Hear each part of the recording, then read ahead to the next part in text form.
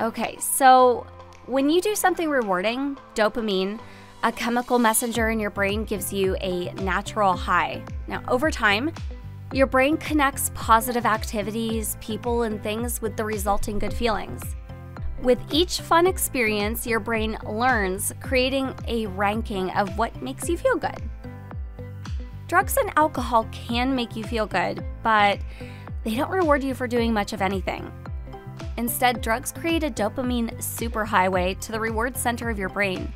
No need for actions or accomplishments to create that warm glow. You just go directly to an artificial high. As you get used to that easy superhighway, drugs move up in your ranking of what makes you feel good. With repeated use, they make it to number one. You lose interest in the other things that make you feel good. If people or other activities get in the way, you ditch them your world grows smaller. Plus, if a situation is making you feel bad, if you're having problems at school or with your friends, you're tempted to just jump on that superhighway. But drugs and alcohol don't fix what's making you feel bad. By reducing your motivation to seek help and find natural ways to feel better, they make things worse. And with some drugs, you need stronger and stronger doses just to get the same good feeling your body gets used to the dopamine rush. You build up tolerance.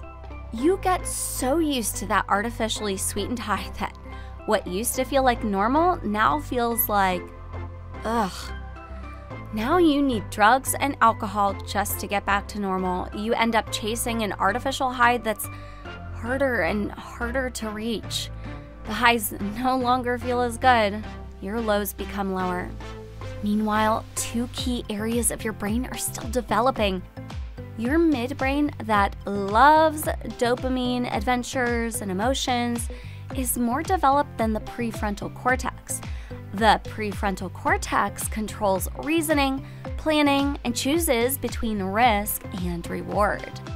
That part of the brain is still developing, so it's like a car with a gas pedal to accelerate, but no brakes.